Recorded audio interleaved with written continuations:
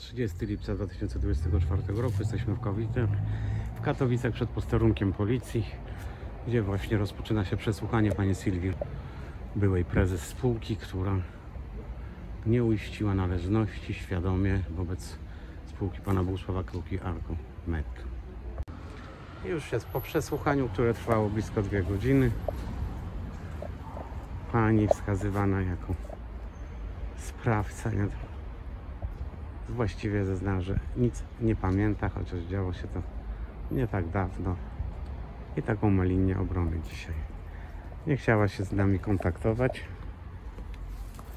i nie chciała udzielić żadnego wywiadu. Szybciutko uciekła do auta.